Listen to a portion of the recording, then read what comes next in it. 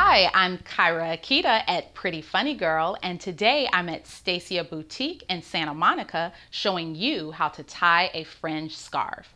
I love fringe scarves, especially ones that have a lot of color like this beautiful one from Stacia Boutique. And today I'm gonna show you there are three different ways you can tie it to get three different looks.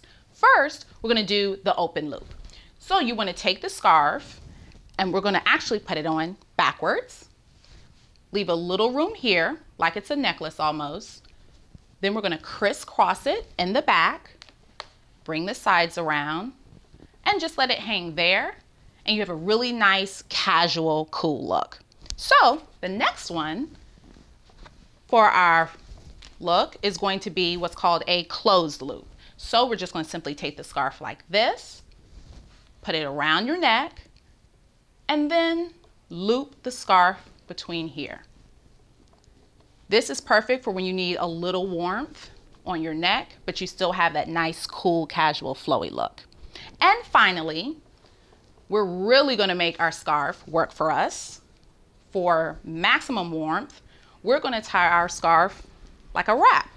So you're gonna open the scarf all the way up, drape it on your shoulder. It helps if you have one side a little longer than the other. And then we're gonna simply bring the scarf here.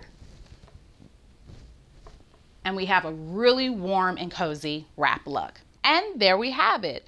Three different ways to tie one amazing fringe scarf. I'm Kaira Akita at Pretty Funny Girl, and that's how you tie a fringe scarf.